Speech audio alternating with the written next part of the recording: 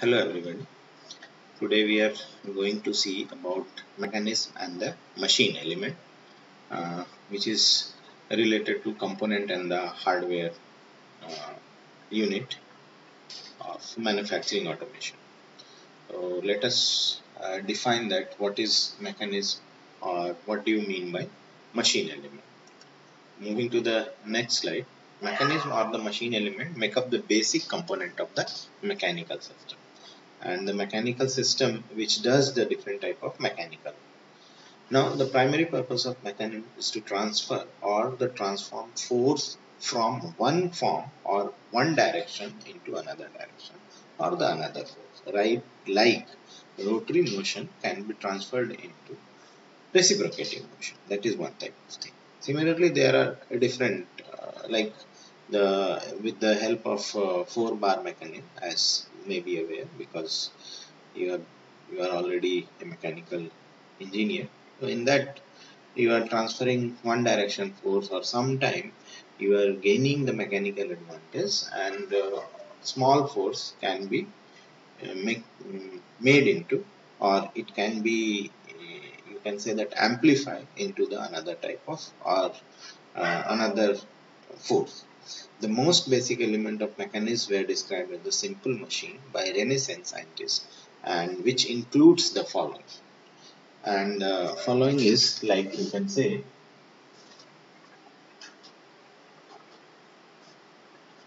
it is the following is like lever, wheel and axle, pulley, inclined plane and the wedges. Screw now with uh, the combination, because this is given by one of the scientists and his name is Renaissance, with the combination of these things, we can have different type of me mechanism or the machines element like such as the gears, the cams, the follower, you can say that bearing, which is the uh, which is the which comprises all these uh, things. Now moving forward, here you can see uh, I'll just put the ballpoint pen. So here you can see now we'll move forward. The machine element include component that allow power to be transmitted from uh, from one mechanism to another. So that is one thing. Now elements such as bearing, coupling, clutches, brake, belt and chains are the example of component that facilitate movement. Movement means we transfer the forces from one part of machines to the another part of the machine and with that uh, we'll be able to get the mechanical advantage. So this is one thing. And uh, now the first mechanism or the first machine element is the combination of cam driven or cam and follower mechanism or it is called as the cam driven device. One method of uh, translating rotary motion into the linear motion is the use of cam on a rotating shaft and what is that cam?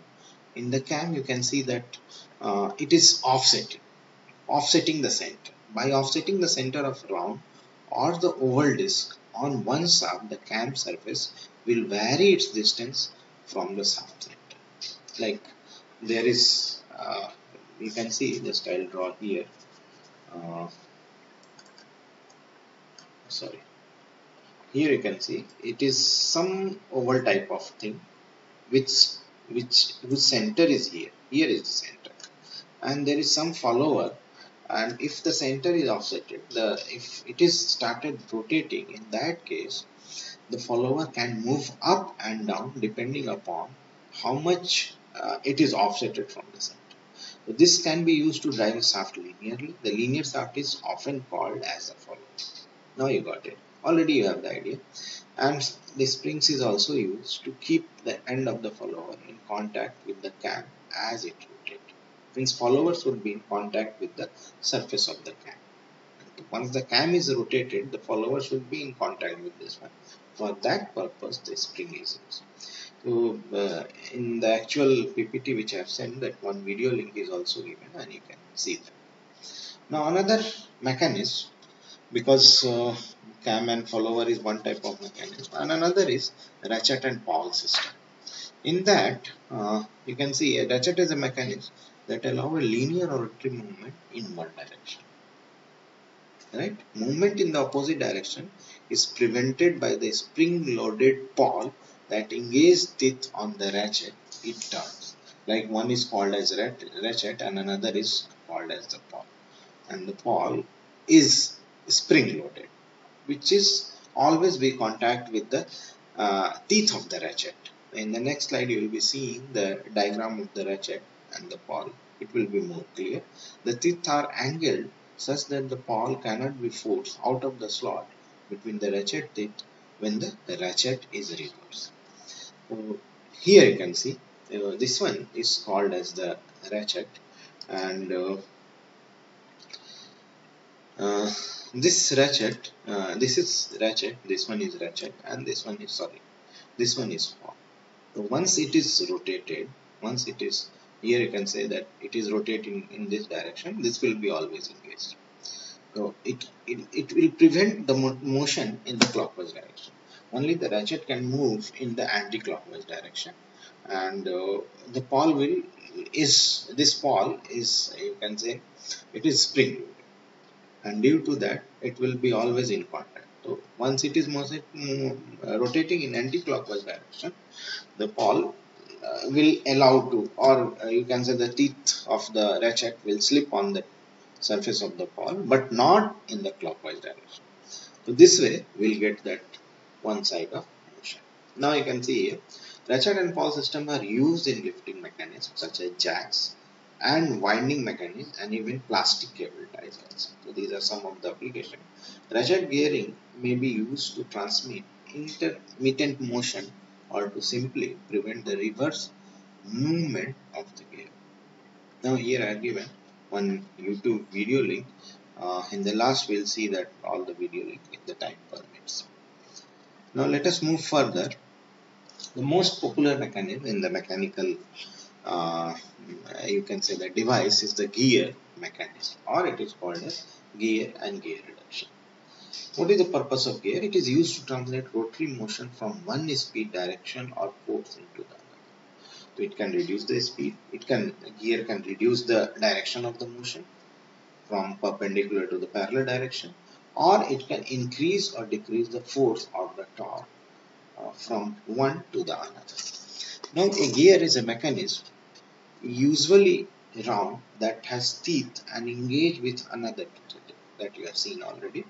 The mating interface between the two machine parts is called a spline. That is obvious. Now gears can be combined into trains. If there are more than two gears, then it becomes a train, which can change speed and therefore torque output incrementally rather than all at once. So there will not be, uh, means if it is a gear train, so slowly uh, there is an increase in the torque or the reduce reduction in the torque as well as the speed. If the torque increases, the speed will reduce, and you can say if the speed uh, reduces, the torque will increase. And if with the combination of this, you will not get sudden increment or jerk increment or jerk reduction in the uh, and due to that to avoid that jerk we require that train if it is a combination of more than two gears then it is called as train they may have teeth on outside or inside circumference or the combination. That is the purpose of gear. The gear tooth profile are almost always slightly curved in shape called as involute. That uh, you may have studied also uh, earlier also. What is the meaning of involute profile and different type of profile. And this curve is based on the diameter of gear and important in keeping gear movement and interfacing smooth and consistent. So this is the main purpose of this profile, involute profile. This involute curve or involute profile is based on the diameter of gear and is important in keeping gear movement and interfacing smooth and the consistent.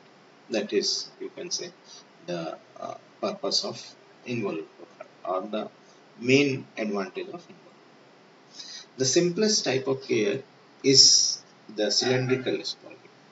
that is the most simplest type and it is commonly used and it is the most popular type. The spur gear only meshes if the gear axes are parallel with each other. Means two gears axis or you can say the two shaft axes in which the gears are mounted are parallel to each other. Then in that case we are using spur. Another type of gear is the helical gear. Have teeth cut an angle to the axis.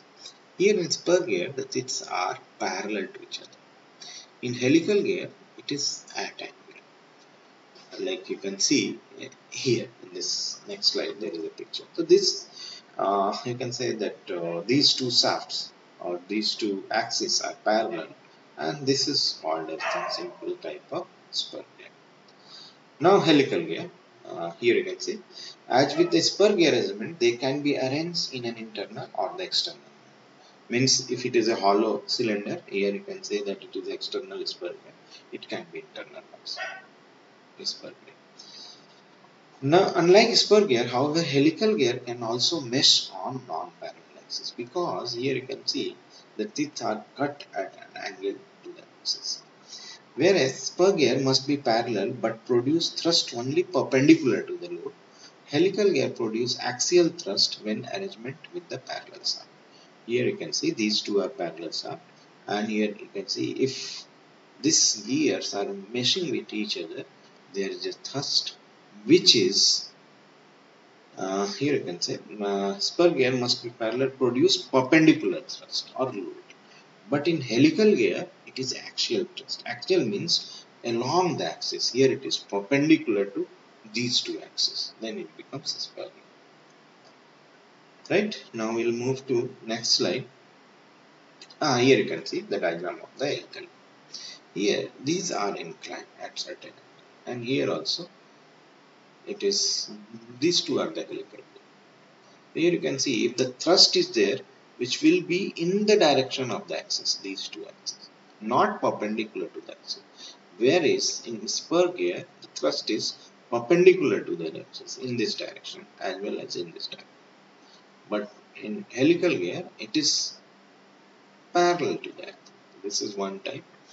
Another type of gear is called as the bevel gear or conical gear with the teeth cut and angled to the shaft. Means it is in the form of cone and on the cone the teeth they are designed to contact two shafts on intersecting axis and uh, you can see this diagram as the bevel. Here it can be straight or it can be curved also or inclined also. So this is called as the bevel gear. So here you can see that power can be transmitted perpendicular. Like spur and the helical gear, it was parallel. In bevel gear, we can this is the axis and this is the another axis. And from here, if it is rotating in this direction, this can rotate in this direction. And the power transmission can be perpendicular to each other. Now another is the hypoid bevel gear or a combination of spiral bevel gear and the worm gear. The axes of these gear do not intersect. The distance between the axes is called the offset. That is another type of hypertrophy gear. Now, crown gear have teeth that project perpendicular to the plane of gear or parallel with the shaft. They are considered to be part of the bevel gear grouping and are sometimes called as the contrate gear. They must be meshed with other bevel type of gear or the spur gear. Then it is called as the crown gear. Now, worm and worm wheel is the another important thing. A worm gear is used to transmit motion at a right angle to itself. They have line tooth contact and are often used with this type of gear, sometimes called the wheel ortho. A worm gear resembles a screw and may have one or more toothed track running around it. So that is worm and worm wheel here you can see the diagram of this one. This is called as worm and this is called as worm. So if it is rotating, if it is rotating in this direction, clockwise direction, so here also you can see that the motion can be transmitted perpendicular with each other. And this worm and worm wheel sometime will be used for locking mechanisms. Means one once it is stopped, this will automatically stop and it will be at that position it will not move far, further even the load is applied or uh, you can say that uh, with the help of uh, some gravitational load this will not move so that's why it is called as the block now another is here you can see uh, worm gear is okay now a rack is a linear toothed rod or the bar that is really engaged with a round gear called the pinion gear. This is common method of converting rotatory motion into the linear motion and the vice versa. As with other gear type, teeth may be cut straight or at angle to the axis of motion. So here you can see the same thing. In the lathe, you may have operated lathe or you may have seen lathe. There is a combination of lead screw. The lead screw is nothing but it is a worm and the combination of worm. Once you are rotating, this will move linearly. Means it will it is rotating in this direction and rotating in this direction. So if something is arranged on this one, this will move started moving in this direction or in this direction and it is rotated. So here we can in the lathe here the handle is fixed. With the handle this is rotated and on uh, the bed is fixed on this one. The bed will move linearly and the handle you are or you can say you are giving that rotatory motion and the bed is moving in the linear direction or getting linear. So a rack and the pinion system is excellent method of moving a linear axis rapidly over the long distance. A rack is usually the fixed component and the pinion gear, gear is rotated with the traveling part of the system which is guided by the linear bearing. Here you can see. This is another arrangement for linear movement and the rotated linear. So this type of arrangement is also there rack and pinion arrangement on the lathe itself. Here the rack is usually the fixed component and the pinion gear is rotated from the traveling part of the system which is guided by the linear So it is rack and pinion. Now another uh, important uh, in that uh, gear is the epicyclic gearing or epicyclic gear. And it is used in many of the uh, you can say that automobile is a method of combining gear in such a way that one or more of the gear axis is movable usually one rotating around. There are various arrangements that accomplish this using bevel or spur type of gear. So generally it is bevel gear or the spur gear, basically spur gear we, we are using. Epicyclic gear is a very compact method of achieving a gear reduction and it is often used in servo gearbox, uh, servo gearbox in the automobile. So that is one thing. Here you can see that it is actually gear. Here how it is. These three are or it is called as the planetary planetary gearbox also. So once you are rotating this one, it, this outer surface will also rotate slowly or fast depending upon the gear. So means you are you are rotating you are giving power to this one or you are rotating this one. These these will start rotating since it is with this and automatically the outer surface will also rotate because this is attached with the inner surface or the inner shaft and the outer shaft will get power and you will get that speed reduction and or speed increase in that case. So this is about that gear system. Now next we'll see about the bearing. Now bearing and pulley, this small one we can finish. Uh, bearing allows the sliding or the rolling contact between two or more parts. They fall into three general categories based on their purpose that is called as the radial bearing uh, that support rotating shaft of the journal, thrust bearing the second that support axial load on rotating element and the guide bearing that support and guide moving element in the state. Bearing are also often described by the principle of operation or the direction of applied field. So this, these are the three different type of bearing, radial bearing, thrust bearing and uh, guide bearing that support or guide moving element in the straight line. Generally this uh, radial bearing uh, is for the rotating shaft or the journal bearing it is also called. Thrust bearing the axial load on the rotating element and uh, here you can see that rolling contact type bearing using rolling element such as ball or roller in place of lubricant or direct contact.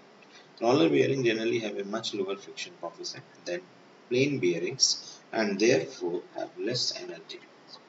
They also generally hold tighter tolerance and are consequently more precise. This is one thing. Here you can say it is cylindrical so here these are the roller, it is fixed in this one, the inner casing and it is outer. So once it is rotating and the outer casing uh, is attached or it is fixed, it will it can move freely or it can uh, or if it is the outer casing is fixed, the inner casing can move freely. This is cylindrical roller bearing.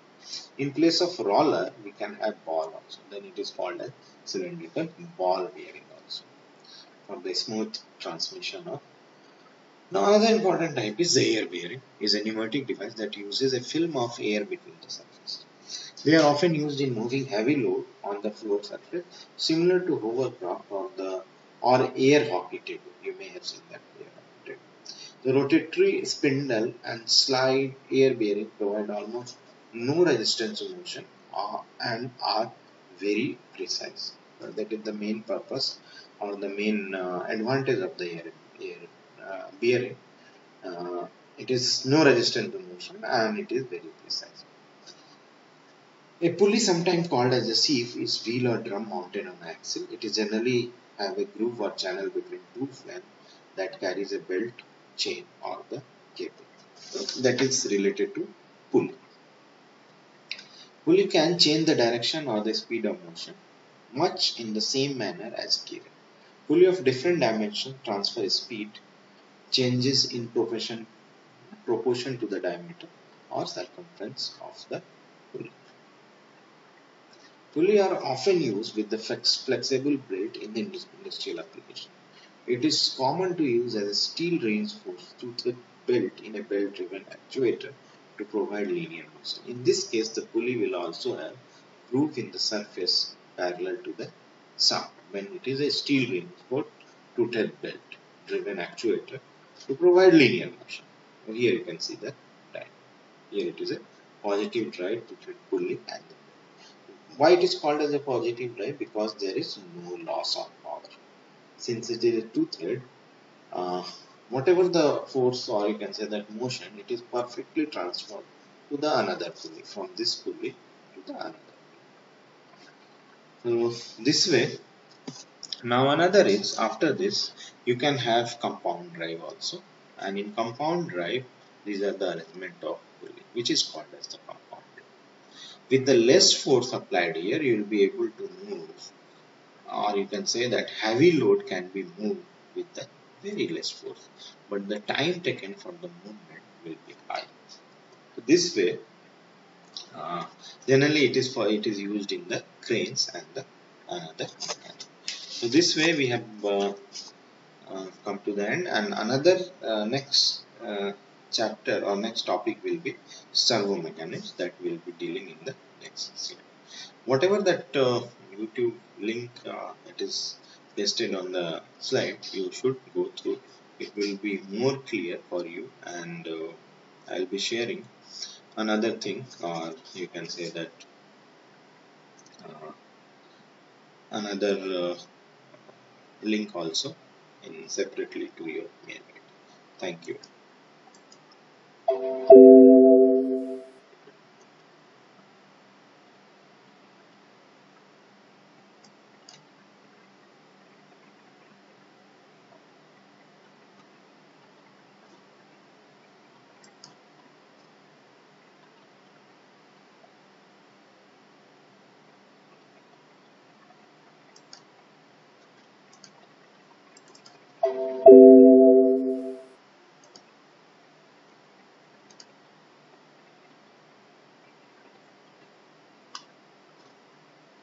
Música